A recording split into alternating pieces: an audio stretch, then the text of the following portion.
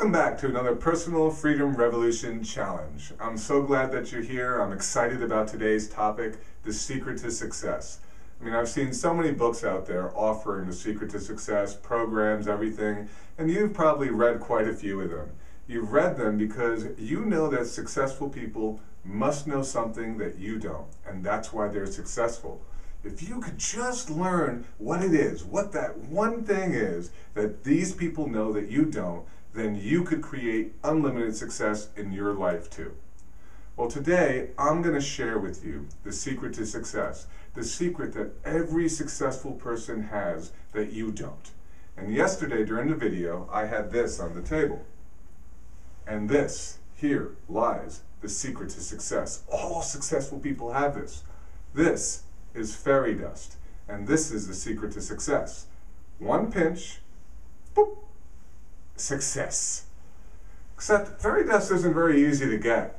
In fact, it's hidden away in some deep cavern and underwater. It's like unbelievable. And very few people know how to get it, and very few people are given the fairy dust.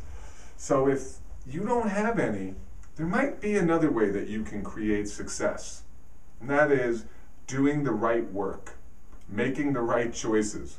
That's the secret to success, the choices you make. Because you, as you are right now, are incredibly successful. That's right, you are already successful. Every single person out there is successful. You know, I give speeches and talks at drug clinics and homeless centers and everything. I, I work with all sorts of people. And I'll be there in a room filled with drug addicts. And I'll tell them, I'll look at the audience and I'll say, I am looking at the most successful people I've ever seen in my life. And they look at me like I'm nuts. And I tell them, no, no, really, you are the most successful people I have ever seen in my life. And I tell them, I say, look, you know, drug addicts, you're amazing. No job, no money. You find a way to get your drugs every day, no matter what. Nothing stops you. That's amazing. I mean, that is incredibly successful. It's just that they're choosing to be successful at the wrong thing. You see, everyone has a definition of success and they think of it as a positive outcome. To me, a definition of success is deciding on an outcome, any outcome, following through with behavior, and achieving it. Doesn't have to be a positive one. So a drug addict is a successful drug addict. They are incredibly successful at the outcome they're trying to achieve. If you're overweight, you are successfully overweight. You didn't wake up one morning overweight. You had to decide not to exercise and you had to decide to eat poorly consistently. You had to keep working at it to achieve being overweight. If you're an alcoholic, you didn't take one drink and become an alcoholic.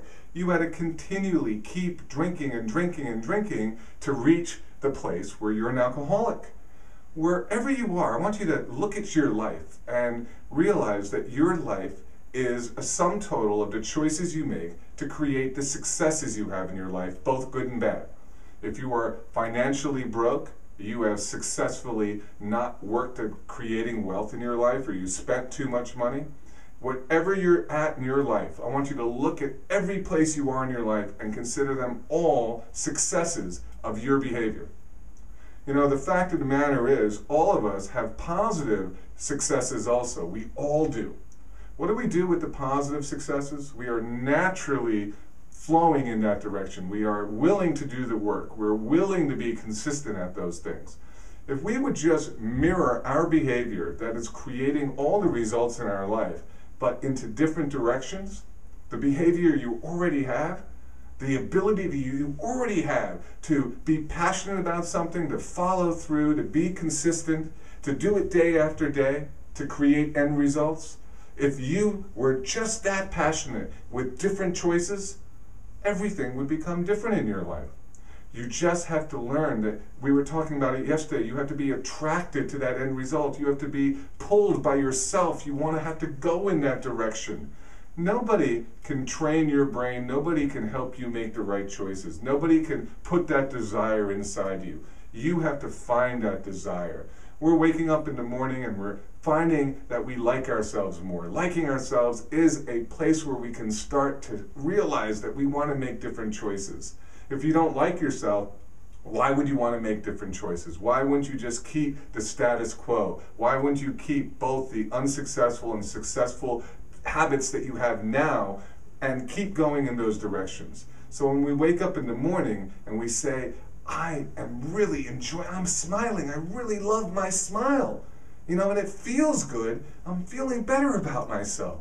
If you are truly resolved to do your personal best, well then, as slow as you think this process is on day eight, you're already making better choices all the time. And then things are getting better. So don't be impatient. Don't be impatient. For once, get rooted and grounded in a foundation of thought patterns that are going to lead you to a behavior that where you're going to go forward doing positive choices to get positive results because you're already making choices all day long. You make choices from the second you wake up. The second you wake up, you decide, hit the snooze button or wake up. Should I wake up with a bad attitude or a good attitude? Should I go to the bathroom? Should I get a drink? Should I brush my teeth? Should I take a shower? Should I have breakfast? Should I turn on the TV? Should I read the paper?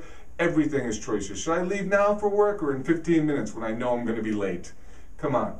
Everything you do is a product of the choices that you are making. So if you resolve to be your personal best, then you resolve to make better choices, and then you're going to get better end results.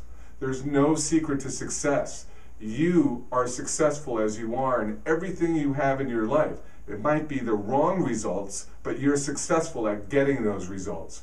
Change your choices, change the end results. Don't worry about any secrets, and realize that gratitude is the fuel that's going to get you there gratitude is so, so important. It's building that foundation.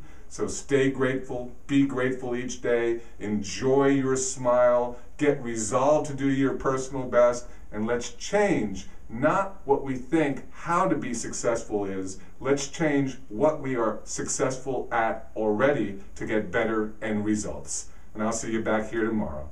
Thanks for listening.